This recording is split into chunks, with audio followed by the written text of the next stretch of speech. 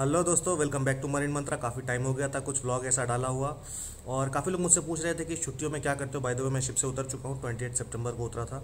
तो छुट्टियों में हम लोग क्या करते हैं मरीनर्स क्या क्या करते हैं? बेसिकली इसके ऊपर ये वीडियो होने वाली है और मेरा टाइम वेस्ट के चलिए शुरू करते हैं।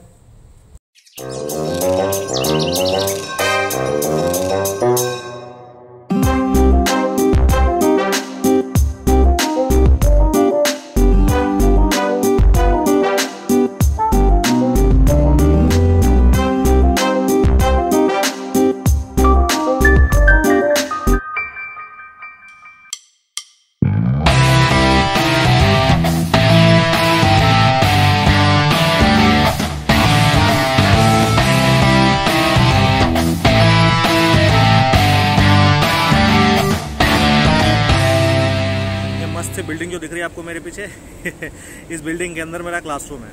तो हाँ जी, इस छुट्टी में जो है हम लोग क्लासेस कर रहे हैं। हम लोग का तो पता नहीं, मैं क्लासेस कर रहा हूँ। आप सब में से मैक्सिमम लोगों को लगता है, मैं भी ये सोचा करता था पहले कि छुट्टियों में जो है मरीनर्स घूमते हैं, फिरते हैं, मस्ती करते हैं पार्टीज़ करते हैं, वापस शिप पे जाते हैं, वापस कमाते हैं, वापस आते हैं। छुट्टियों में मस्ती करने जो वाली जो बात है, वो थोड़ी हद तक ठीक है। फुल्ली इंडोर्स करना सही नहीं होगा इसको बेसिकली तो हर छुट्टी में ऐसा कुछ ना कुछ आ रहा होता है, कभी एमएमडी यानी कि हमारा जो डिपार्टमेंट है गवर्नमेंट ऑफ़ इंडिया के द्वारा। वहाँ पे कुछ पेपर वर्क चल रहे होते हैं, कभी कुछ नए कोर्सेज आ रहे होते हैं तो इस बार मैं अपने अगले के, अगले प्रमोशन के लिए क्लासेस कर रहा हूँ। तो हाँ हर छुट्टी में सिर्फ़ पार्टी सिर्फ़ मस्ती नहीं होती है, वो एक पार्ट है। बट काफ़ी रिस्पॉन्सिबल चीज़ें भी होती है, पढ़ाई करो पढ़ाई करो मतलब ना बेसिकली समझ लो एक बैचलर्स लाइफ जीना पड़ता है फिर से। हर छुट्टी में आपको एक बैचलर की तरह ये बैग देख रहा हो, ये कंधे पे ये बैग लेके वापस पढ़ाई, लिखाई, और उसमें लग जाओ। हालाँकि मुश्किल है यार, पढ़ना मुश्किल है इतनी चीज़ों के बाद। प्लस नई जगह जाओ तो रहने के लिए एकोमोडेशन और ऑल वो सब टेंशन तो अभी मैंने जो फ्लैट लिया हुआ है, वो यहाँ से काफ़ी दूर है और वहाँ से आना जाना मैंने एक महीने तो कैब से किया था बट छुट्टियों में सैलरी तो मिल नहीं रही होती है तो अभी मैं वापस आ गया हूँ बस पे। कलकत्ता की एसी बस सर्विस अच्छा है और कैब सर्विस का प्रॉब्लम क्या है ना, कलकत्ता का दो चीज़ एकदम ज़बरदस्त है हाँ।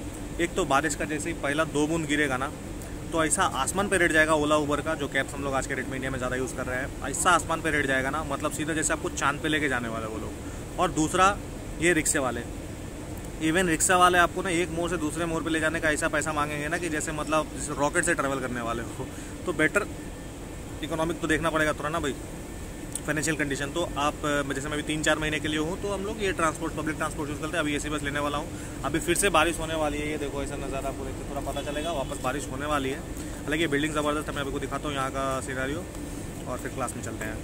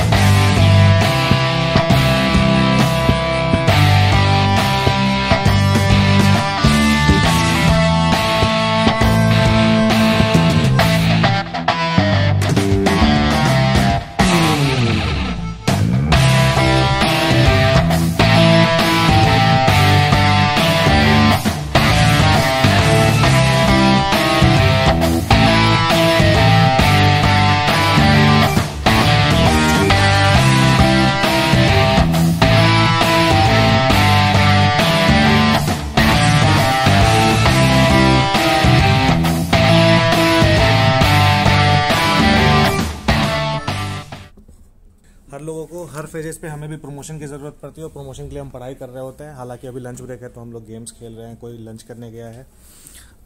तो पढ़ाई कर रहे होते हैं अलग अलग क्लासरूम से। ये हमारा कॉलेज है इस वक्त। ये देखो यहाँ लंच के लिए वापस मस्त लाइन लगी हुई है। मतलब इधर शिप पे मस्त पहुँच ज़िंदगी जी के आओ टेबल पे बैठो जीएस खाना सर्व करता है, खिलाता है, सब दिखाया। और यहाँ के वापस लग जाओ लाइन में। ये देखो, और लोग आ रहे हैं लाइन में लगने के लिए। यही है ज़िंदगी, जब हम ज़मीन पे होते हैं। सो अभी कॉलेज विलेज करने के बाद अपने रूम पे वापस आ चुका हूँ और दिन काफ़ी अच्छा था। तो बेसिकली आपको यही बताने का मेरा पर्पज़ था कि हम लोग जो है छुट्टियों में काफ़ी चीज़ें कर रहे होते हैं और ऑलमोस्ट एक स्टूडेंट लाइफ जी रहे होते हैं। बैग पेट पे डालो और चल पड़ो। कॉलेज पढ़ाई लिखाई, क्योंकि जितने प्रमोशन से सबके लिए पढ़ाई है, कसम से ये पता होता ना, इतनी पढ़ाई तो बंदे, मैं अकेला नहीं, इतने बंदे हैं ना आधे बंदे इसमें से यूपीएससी बीपीएससी की तैयारी कर लेते, जितनी पढ़ाई करनी है ना लिटरली बहुत ज़्यादा मतलब टू मच है। बट ठीक है यार प्रमोशन भी तो मिल रही है पढ़ाई के दम पे, और आपका नॉलेज भी बढ़ रहा है, काफ़ी कुछ सीखने को भी मिल रहा है सो और कॉलेज हमारा ज़बरदस्त लोकेशन पे है। तो यही सब रूटीन होता है हमारी छुट्टियों में। तो जो लोग भी ये सवाल पूछ रहे थे, उनको होप कि जवाब ठीक से मिल गया होगा, और भी कुछ डाउट्स है तो कमेंट्स में बिल्कुल लिख दीजिए। वैसे आज सुबह सुबह एक बहुत अच्छा इंसिडेंट हुआ था हमारे साथ, जब यहाँ से जा रहे थे तो एक अंकल जी को लगा शायद हम मीडिया वगैरह से हैं। तो उन्होंने जो है, मुझे रोका और कुछ प्रॉब्लम बताने लगे यहाँ के, एक मठ थी, मठ के ऊपर, कुछ तो प्रॉब्लम था उनका। वो बताने लगे, मैंने भी अंकल का मन रखने के लिए उस समय कवर कर लिया बट कुछ ना कुछ तो किया जाएगा, उसके ऊपर जो उन्होंने बताया है। So I will try my best to help him out अगर कर सकते हैं तो बट चलो, काफ़ी इंप्रेशन अलग पड़ जाता है, अगर कैमरा हाथ में लेके निकल जाओ तो। तो इसी के साथ ये वीडियो समाप्त करते हैं। होप अगला कुछ अच्छा सा टॉपिक मिले, उसके ऊपर अगला वीडियो जल्दी लाने की कोशिश करेंगे, क्योंकि अभी तो हम ज़मीन पे ही हैं तो ज़्यादा मुश्किल आएगी नहीं वीडियो बनाने में। Thank you very much like कीजिए शेयर कीजिए सब्सक्राइब कीजिए, जिन लोगों को भी डाउट है, ताकि सब लोगों के डाउट्स क्लियर हो।